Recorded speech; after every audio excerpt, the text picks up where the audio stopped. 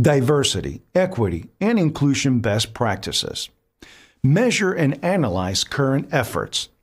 Attract and recruit diverse talent. Eliminate bias during interviews and hiring. Facilitate inclusive onboarding. Lean on learning and development. Use DEI to boost retention.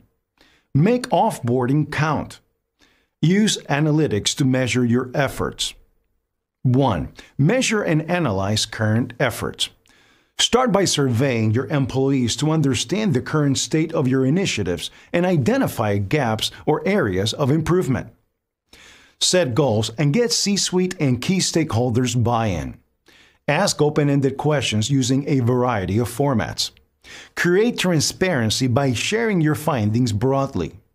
2. Attract and recruit diverse talent. Evaluate everything from the images on your site to the language in your job descriptions to the channels or organizations where you source.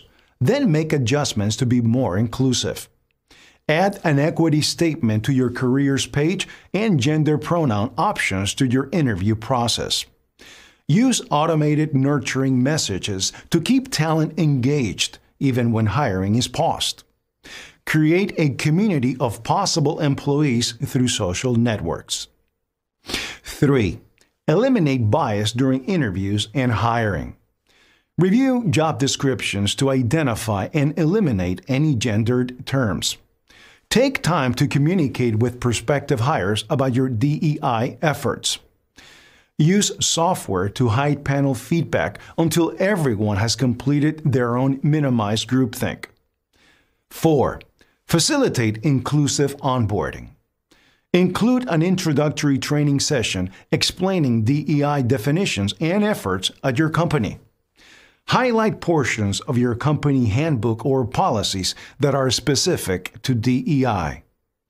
Connect new hires with employee resources groups, ERGs, or other organizational focus groups. 5. Lean on learning and development.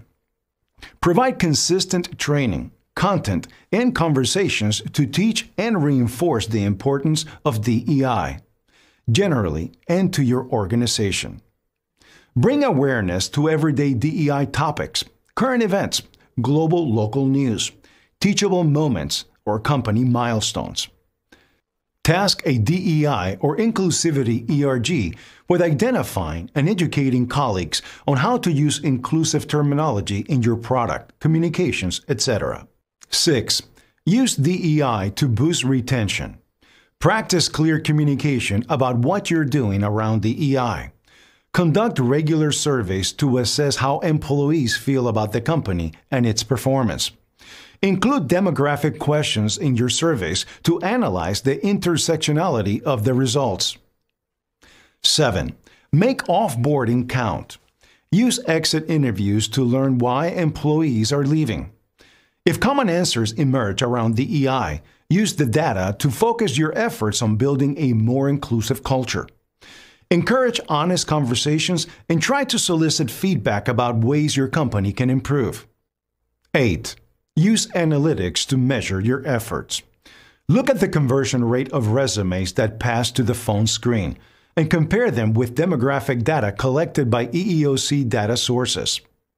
Identify where certain groups become underrepresented in the hiring process or underpaid as employees. Refine those identified areas and keep tracking to measure improvements.